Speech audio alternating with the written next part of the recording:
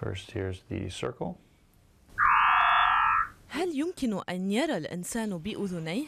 ربما أو هذا ما يطمح لتحقيقه البرنامج الإلكتروني الجديد The Voice يحول هذا البرنامج صور الكاميرا إلى مؤثرات صوتية والهدف مساعدة المكفوفين في تحديد طبيعة ومكان الأغراض المختلفة الموجودة في غرفة ما تقنية جديدة طورها الدكتور مايكل برو من جامعة باث البريطانية بديلاً للمكفوفين عن جراحة شبكة العين. وهي تبدأ بتوليد صورتين مرئيتين للغرض نفسه لتسليط الضوء على أجزائه المختلفة التي تتحول كل منها بعد عملية المسح إلى ذبذبات صوتية. تسمع اولا هذا الضجيج الكبير وبعد ذلك يصبح الصوت بعيدا وتحل مكانه أصوات متفرقة وإذا أمعنت الاستماع قد تتمكن من التمييز بين ثلاثة أصوات تعبر كل منها عن أجزاء الصبار الثلاثة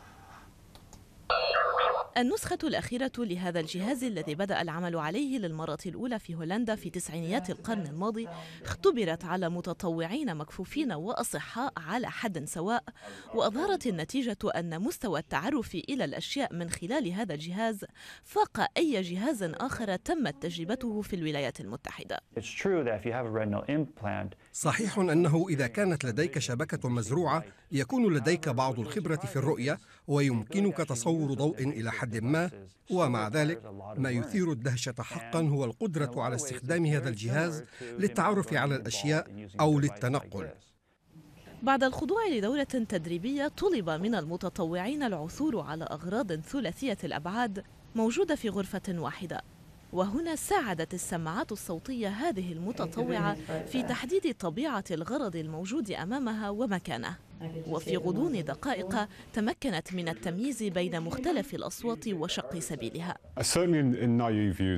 في معظم اختباراتنا تمكن المتطوعون في غضون أربع ساعات من التمييز بين الأغراض وتحديد مكانها والأمر يشبه تعلم لغة جديدة.